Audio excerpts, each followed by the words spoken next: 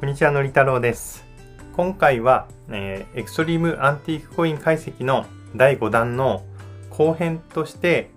前回あの前編として1841年のビクトリア・インディアンモハールの金貨についてどんな種類があるかを特徴とともに細かく解説しましたのでまだ見られてない方はですね後半から見るとちょっと訳がわからない方もいらっしゃると思うのでそちらから見ていただくと、まあ、今日言ってることの意味がわかると思いますので、えー、ぜひ、えー、インディアモハールあまり詳しくないという方はそちらから見てみてくださいで今回は後編としてそれぞれのタイプのモハール金貨の値動きを見てみるとしましょう。それでは早速、値動きを解説したいと思います。それでは最初の1個目から参りたいと思います。1841年の C ですね。カルカッタミントのディバイデッドレジェンド通常肖像ラージデートプレイン 4WW の名ありということで、まあ、オーソドックスな一番多いタイプになります。こちらは、えー、まあ、発行枚数が44万2000枚とかなり多いもので、ただ、えー、鑑定枚数が PCGS で68枚、NGC で260枚と、あの、インド国外に持ち出し禁止になってますので、えー、そちらが、えー、他のインド以外の国では扱ってる枚数が、まあ、少ない方の金貨になるかと思います。でこちらの2022年の価格ですね。MS61 で平均が167万4000円と。で、MS60 が164万7000という値段になっていますが、1年前、2021年で MS61 が130万、138万7000円平均ですね。で au58 が66万3000円だいぶ安くなってまして、まあ、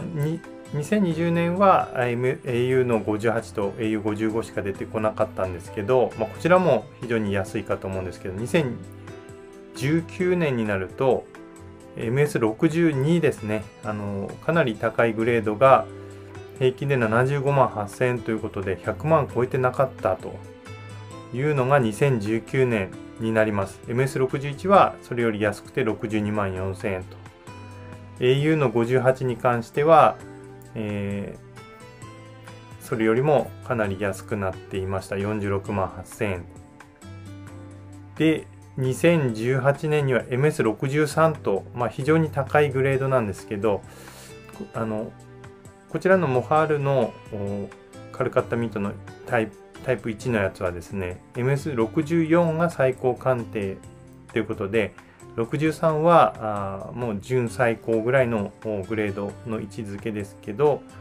そちらは164万7000と非常に高くなってましたけど MS62 は95万と。MS61 は62万というような感じで、えー、非常に安くな安かったかなと思います。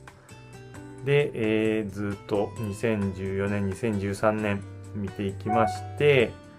で、えー、2012年、まあ、2011年になるとですね、MS61 グレードは38万2000円、えー、au58 が39万8000円と非常に安くなっていきます。で、2010年まで遡ると、このプルーフっていうのはですね、あの、リストライクのやつですけど、プルーフ64って非常に綺麗なものでも46万程度。MS62 でも49万。MS61 で35万と。この時に買っておけば非常に安かったというような金貨なんですが、今は160万円超えてしまっているということになります。なので上昇率見ていきますと MS61 が、えー、42.8%毎年上がってるっていう計算になります。au の58は6.63%、au の55が8.84%ってなるんですけどこれはですねあの先ほど見ていただいたらわかると思うんですけどこれですね MS61 はですね2022年に、えー、売買履歴があって先ほどの au とかですねそういったグレードは2022年の販売履歴がなかったので、えー、こちらが、えー、上昇率が低くなってるんですけどただ2022年出てくればですね、まあ、上昇率はぐっと上がると思います。で毎年の売買履歴 MS61 だけをずらーっと並べるとですねここにあの矢印で「うなとライオン2019年がロイヤルミントから発売」ということでここでやっぱりウィリアム・ワイオンに注目が集まってそこから跳ね上がっているっていうような、えー、値段に値付けにも見えます。でただあとは2022年はあロシアの戦争とかですね、まあ、世界的な金融不安がありましたのでやっぱりそれで上がってるのかなとは思いますけど非常に今注目されているコインの一つであることは確かかなと思います。でもう本当に先ほどもずらっとお話しましたけど2010年頃は35万36万ぐらいで、えー、買えたとでこれが計算がですね今のレートの130円で1ドル130円で計算してこの値段なので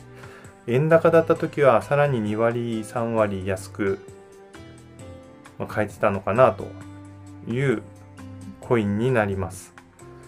au の58についてもですねこれやはりあの2021年までしか出てないんですけど2021年で急に上がってますね。それまでは30万40万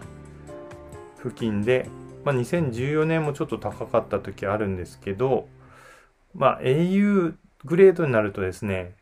同じ au でも綺麗なものとかなり汚いものが入り混じってるのでですね、なんとも一概には言えないんですけど、まあやっぱり高くなってるのは確かだと思います。で、au の55も2020年の販売履歴までしかないので、えー、これが2022年出てくるとまた高くなってるのかなと思いますで続いて2つ目参ります、えー、ディバイデッドレジェンドの通常肖像ラージデートでクロスレッド4のものになります。このクロスレッド4は前回の動画でも解説してますけど普通の、えー、カルカッタミントで鋳造されたものの中でやっぱり枚数が少ない、えー、レアなコインになりますので、えー、まあ、発行枚数は不明なんですけど鑑定枚数は PCGS で18枚 NGC で41枚と少なくなっていますので値段がぐっと上がります。2022年には MS62 は平均で334万9000とかなり高額で取引されてます。MS64 がこれ2020年になると先ほどの2022年の62グレードよりも安くなってますね。260万。で、えー、2019年には au58 が売り出されてこれは43万3000円で非常にお手軽だったのかなと思います。で2018年は MS62 が95万。2013年は MS62 が93万ということで、えー、上昇率ですね。MS62、えー、2022年でかなり高額になってますので年率換算でいくと28.75%ともうかなりの急上昇になっています。もう MS62 グレードはちょっとなかなか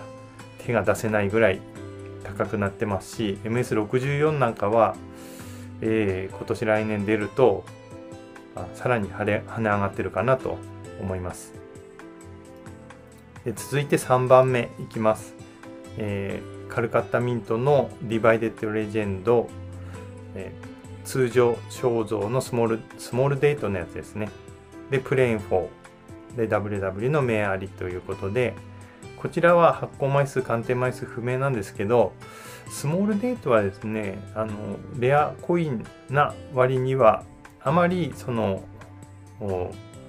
レア扱いされてないかなと。まあ見た目がかなり見分けづらいっていうのもあると思うので、えー、なかなか入札のと時でそこまで見て入札してる人もなかなかいないのかなというのはあるんですけど、こちらは2022年 au58 が52万2012年は MS62 が58万2010年には au58 が23万2000ということでこれ au58 が2回出てますので、えそれで計算すると年率4.71%の上昇と、まあ、これはあの先ほどの普通の普通のですねあのスモールデートじゃないラージデートと同じような感じの値動きかなと思います。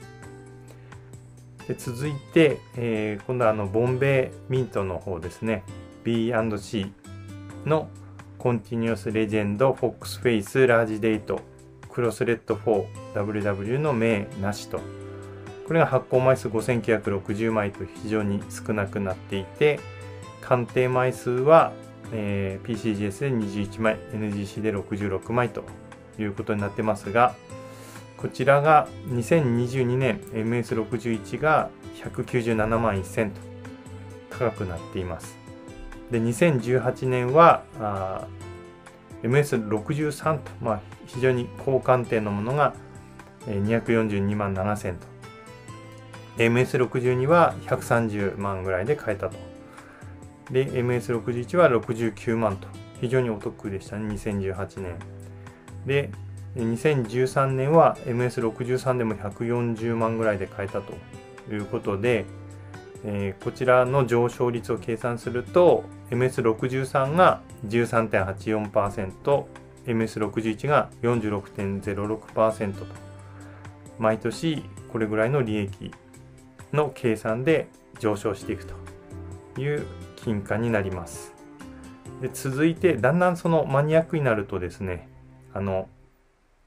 なかなかオークションに出てきませんので上昇率計算できないんですけど、えー、1841年のボンベイミントのディバイデッドレジェンドのやつですねあの通常肖像でラージデートプレーンフォートこれもかなりレアなコインですけど2022年の MS 61は323万4000と、えー、かなり高額で落札されていました。で今度、あの、マドラスミントですね、1841年 M の Continuous Legend のフォックスフェイスラージデートクロスレッド4 S の名が入っているものですね。こちら発行枚数が3万2000枚と、あの、ボンベイのやつより多いんですけど、鑑定枚数が4枚えー PCGS、NGC ともに4枚しかないということで、かなりレアなコインになります。でこちらは2019年の MS61 で260万と、で2010年の MS62 は55万と。まあ、2019年の時点で260万あったので、こちらは、えー、今年、来年出ると、まあ、相当な高額になるんじゃないかなと予想されます。で最後に、えー、カルカッタミントの Continuous Legend Fox Face Large Date Crosslet 4ということでこちらもレアなコインで2022年に MS61 が173万2000というこれは比較的2022年にしては安かったのかなと思います2019年は MS62 が50 61ですね。58万9000ということで、これ、こちら上昇率計算すると、えー、年で、えー、64%ぐらい、えー、急上昇しているというものになります。ということで、えー、全部見てもですね、まあ、あの、当たり前といえば当たり前と言ってしまえばいいのかわからないんですけど、やっぱり人気のコインなだけあって、2022年に非常にぐっと。2019年からですね急に人気になったコインだということが値動きで分かったかと思います。特にあのレアなものは非常に高くなってますので300万400万、えー、普通に超えてくるような、えー、コインになりますので、まあ、こちらは安くもし買えるところがあったらラッキーなコインなんじゃないかなと思います。ということで、えー、最後までご視聴くださいましてありがとうございました。いいねボタン、チャンネル登録もよろしくお願いします。いつもご視聴いただいている皆様ありがとうございます。で、あの、またこういうコインを解析してみ欲しいというようなご要望がありましたら、えー、コメントとかでですね、いただければ、えー、次の第何弾になるかわかんないんですけど、えー、解析していきたいと思いますので、えよろしくお願いします。それでは最後皆様一緒にレッツコインご視聴ありがとうございました。